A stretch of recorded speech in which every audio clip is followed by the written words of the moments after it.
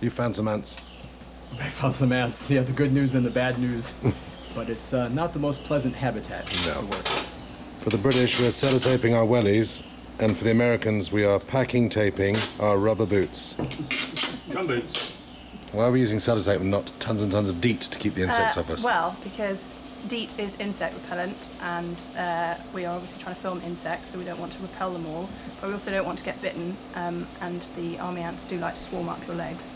So the sellotape, uh, in theory, blocks their path, but not always. It's not just the ants, you see, because the ants will scare out all sorts of things like scorpions, tarantulas, snakes.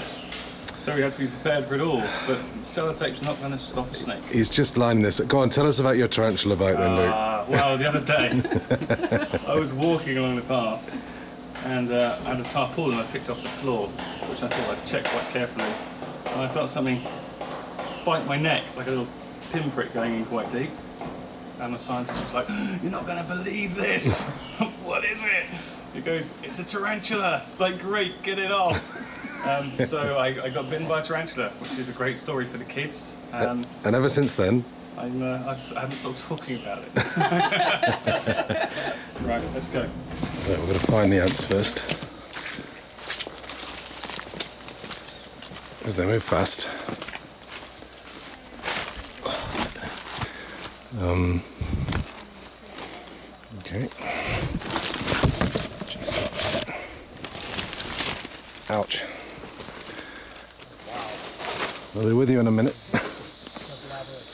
so, um, looks like Lara's found the bivouac, which is our first task really, because we have to um, find out where their home is before we can work out where they're going out from. So that's brilliant work. We think the ants are in the hollow of that tree. A lot of the trees here are sort of rotting from the inside out, and ants like to bivouac in there. I mean, they, I think they're going in, but Oh, hang on. Well, may- maybe. Hey, uh, look. Yeah, Lyra found this giant thing they killed. God, what have they just Awesome. killed? get Let- the camera. Let's get the cameras then. Where? How do we get out? yeah, try and work out where the path is. I know. So there's ants everywhere here. Yeah, I'll show you. This is the trail that's returning from the raid front. So they're out raiding, bringing back food. And it's the coolest thing because there's just this trail disappearing off into the forest. You can see it snaking through right into the distance. So somewhere over in that thick mess, there's a lot of insects having a bad day.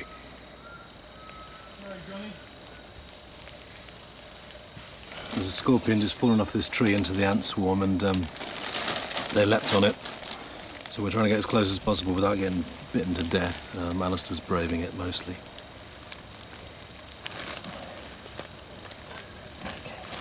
Careful because it brings them in. Johnny, what are we filming?